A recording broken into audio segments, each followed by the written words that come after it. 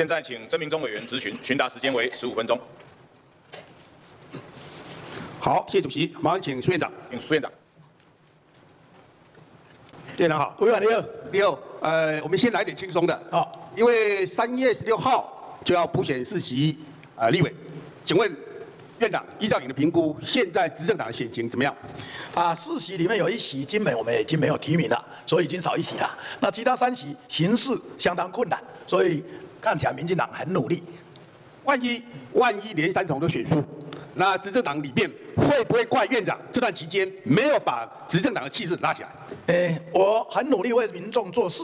老实说，我现在很少时间可以去胡选。那这个选举的结果，如果真的对执政党不利，执政党更要谦卑检讨。那我当院长这五十七天来，真的认真在做事，也谢谢贵院支持，贵委员很多指教。我希望做好。至于院长怎么样做，这个任命我的总统自有评断。